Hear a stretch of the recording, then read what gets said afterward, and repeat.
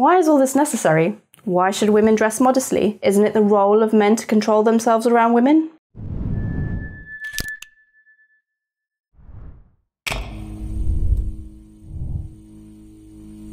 Hello there, peace be on you. My name is Anne Marie. Welcome to Rational Religion. It's a common criticism of religion that it oppresses women and strengthens existing power structures. Islam is often the main subject of these critiques, and since we here at Rational Religion are Muslims, I thought I'd clear a few things up. Let's take a look at the hijab, such a controversial topic nowadays. Let's shine a light on this bugbear of the Western world. So, what is the hijab? The word is commonly used to represent the cloth a Muslim woman covers her hair with. The word hijab, however, is not the term used in the Quran. The word used in chapter 24 is in fact khimar, where it instructs women to draw their head coverings across their chests. The word khimar comes from the root word kha, mim, ra, which conveys the meaning of a covering. Other words that derive from this root word draws from this basic meaning. For example, while khimar means head covering, khamr means alcohol because it's known to obscure or veil one's mental faculties. It's all about covering the head, literally or metaphorically. Some people believe that the Quran makes no mention of the head covering, but they should consider this point. In pre Islamic Arabia, the khimar would be wrapped around the head and its long piece left to drape down the back. The Quran here instructs women to wrap this head covering in the same way, but to drape that long piece to cover their neck and chest. How women fulfill that instruction is how you get the different clothing styles across the Muslim world. If you take that long piece to the front, you get the burqa, since it covers the face before it reaches the chest. For women who drape the cloth with the upper edge leaving only the eyes, you get the niqab. And many Muslim women fulfill the instruction as the Prophet himself, peace be upon him, directed at the basic level when he said that a woman's face and hands need not be covered. The question is, why is all this necessary? Why should women dress modestly? Isn't it the role of men to control themselves around women?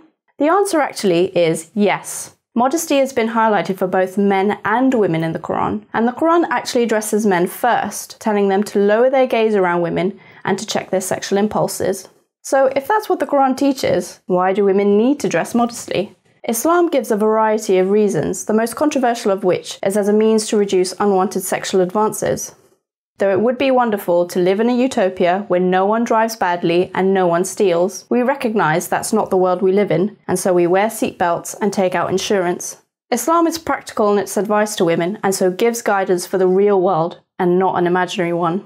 The hijab is a bit like a seatbelt. Will it prevent you from always being harmed by the reckless actions of others? No, but it can decrease that risk. In the same way, Islam teaches that women should take their safety into their own hands rather than relying on the goodness of men. A well known study conducted by Princeton psychologist Susan Fiske found that men seeing women dressed in bikinis activated the part of their brain associated with tools, or quote, things you manipulate with your hands, as compared to seeing images of fully dressed women. As famous actress Jessica Rey puts it, modesty isn't about covering up our bodies because they're bad. Modesty isn't about hiding ourselves, it's about revealing our dignity. Now let's be clear, modestly dressed women get harassed too. The primary way to eliminate sexual harassment of women is to reform men's behaviour.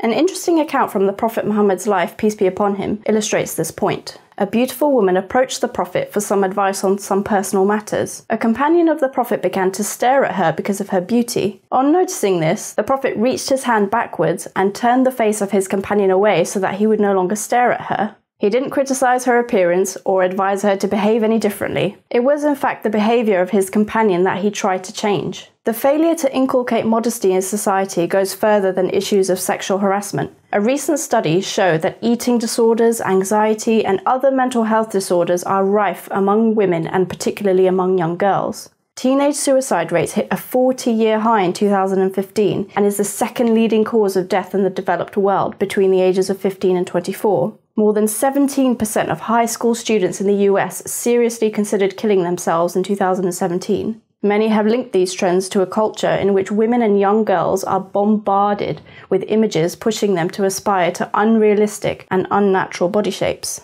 Islam says no to this destructive agenda. It supports women's liberation because it de emphasizes physical beauty and thereby re emphasizes personal qualities. Otherwise, it's very easy to be judged and valued according to your looks, which just becomes a genetic lottery. By helping to lessen the emphasis on physical beauty, modest dress says to society that women should be judged according to what's actually important their personality, intellect, talents, and making a difference in the world.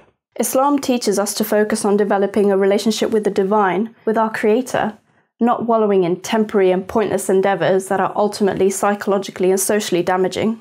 There is so much more to a woman's choice to dressing modestly than just trying to avoid unwanted sexual advances. It brings a much deeper meaning to your relationship with the divine and commitment to something much greater than yourself and the temporary material world.